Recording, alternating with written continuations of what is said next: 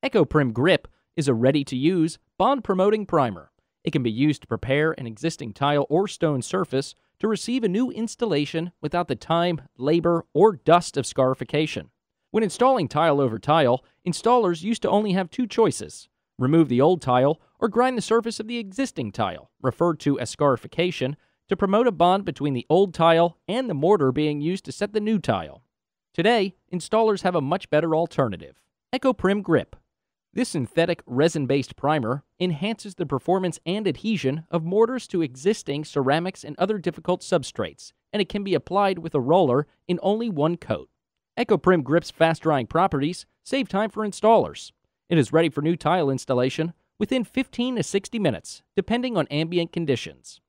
In addition to eliminating the dusty environment created with scarification, EcoPrim Grip's low odor and VOC compliance make it safe for use in interior, occupied environments. Its excellent bonding properties make EcoPrim Grip the perfect choice for use with Mapei's tile mortars and self leveling underlayments. At Mapei, we develop technology you can build on, saving you time, money, and labor.